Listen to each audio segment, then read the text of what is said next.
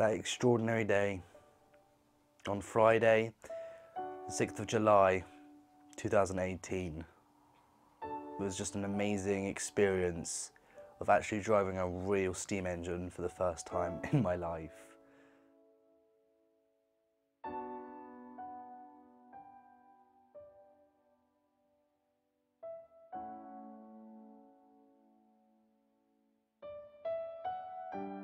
We were all waiting in Alresford train station for the locomotive to arrive, but I still had no idea what I was driving until the guy came in with all the notepads, all the names, and the date and times, and the timetable.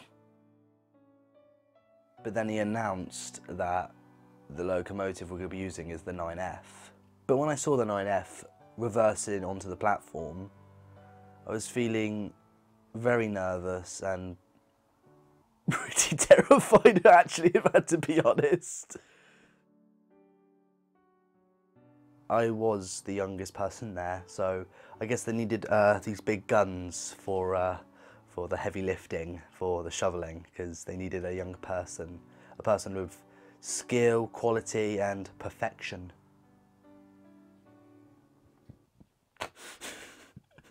When we first got moving, the ride was pretty rough. It just felt like being in an earthquake, and well, a very hot earthquake. But the sound was, it was everything was loud. We had to shout to communicate, and to be honest, I wasn't a very good stoker. I kept making a lot of mistakes, and I wasn't, I wasn't, I didn't give my 100% best because I was really nervous. Uh, but the, the, I still remember the heat, the fire, the sounds, the smell.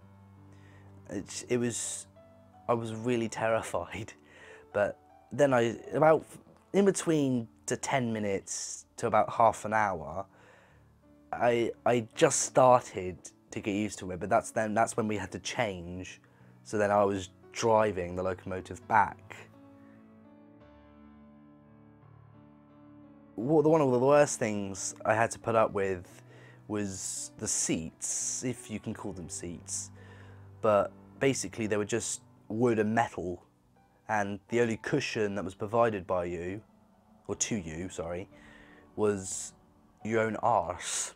I was actually glad that I was actually shoveling the coal uphill and just letting the train roll back down the hill as when I was driving it. So I think it was pretty easy for me because I didn't really had much to do. I just let the train roll and just had my hand on the brake the whole time.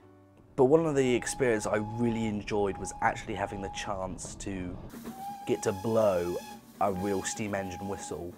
And I've been, you hear it in films where people say, I've always wanted to do that like my whole life like uh, Back to the Future Part 3, uh, The Polar Express, and th those are the only two films I know. But you see my point. It was just one of those lifetime experiences where you feel like a child again, even though you have to be over 18 to actually get to do the experience. But even though I do have a mind of a six-year-old child, I felt like a child when I just put my hand on that lever and just blew that amazing, I can still hear the sounds of that magnificent steam whistle. But if I had to decide which job I would prefer to do, either to be the stoker or the driver, I think I would prefer shoveling the coal. And I know that's an idiotic choice because you have to work, you have to work the hardest. Um, it's just, it's just a, a, a big job to do, but it's, in my opinion, it feels like you're doing all the work and that's a good feeling. So you just have to keep feeding the beast, the amazing 9F beast, the big metal beast. That's, uh, that's what I like to call the 9F because it, it, it's enormous. It's just an enormous steam engine and it's fantastic and I just love it in every single way. But the driving part was fun. I did, I did feel very nervous when I had the locomotive in my control, but it was just really moving the levers for what you do in a video game, except they're hot, they're very heavy, and they were very stiff. You needed some oil on those. Get some oil on that next time. There was a special technique for when you were shoveling coal, because I thought you just get the coal up and just throw it in the fire, but actually the boiler or the firebox was enormous. It was like this big. So what I had to do is I had to get the coal from where the fire can actually well where where where the the the, the shovel can't go because the firebox door thingy was incredibly small. So we had to get the coal into the firebox but behind it as well if that makes sense. Probably probably it doesn't by the way I'm describing it. So what you had to do is you had to actually twist your wrists as you were shoveling the coal. You had to throw it in the fire, but twist as well so the coal would fly to one side. It was very hard to do. I think that was the hardest job I had to do because like the coal was heavy, but even trying to throw it in the fire, then alone trying to fly it to one side, it was just, it was very painful and I actually got a very sore wrist after that. So um, this is a replacement, this is a brand new wrist because my other wrist was very damaged and very sore. So I went to the shops and I bought myself a new wrist. This is a brand new wrist, by the way. So um, I can um, I can do this with it.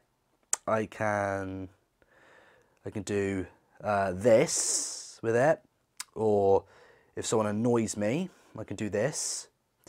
So there's a lot of uh, functions I got with this new wrist. It's a, it's a, it's a metal wrist, so it may, it may not look metal because it's um, it's camouflage. It's um, it's an app you can get. It's it's it's, it's an app wrist, so um, so it's it's a good wrist. So no more wrist pains for this arm, which is which is fine by me. I did not feel like a hero when the day ended. People just got changed back into their everyday clothes and just got in their cars and went home. But for me, I, I bought my my own uh, my own boiler suit, my own gloves, my own shoes. I even had my own shoes. But I just wanted to stay longer and do it all again. but it's just one of those times where you have to say goodbye. If I had the chance to do it again, I definitely would. I would absolutely do it again. It was just one of those days you just have to do it more than once.